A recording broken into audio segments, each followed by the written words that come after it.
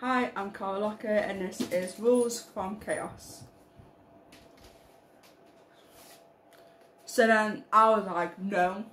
And she was like, yeah. So I was like, you can't. And she was like, well, I am. And I was like, what about the rules? And she was like, so what? So I was like, you do it. I'm gonna call the police. And she was like, don't even care. So I was like getting my phone out. And she was like, what the fuck is wrong with you?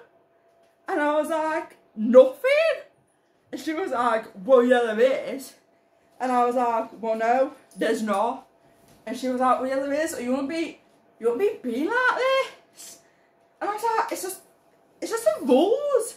So many things need to, so many things have to be maybe you don't like that, but you get to make the rules. You're not like God or whatever. And she cut me off. And she was like, Have you seen my life? Do you know my life? Do you know anything about my life? Does my life look like order to you? Does my life look like rules to you? Do you know anything about my life? Does my life look like fucking order to you? And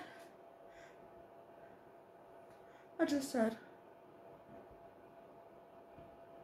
I just said nothing. She had scratches on her arms. I thought she might.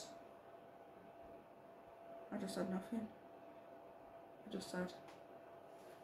I said arms, not legs. Otherwise.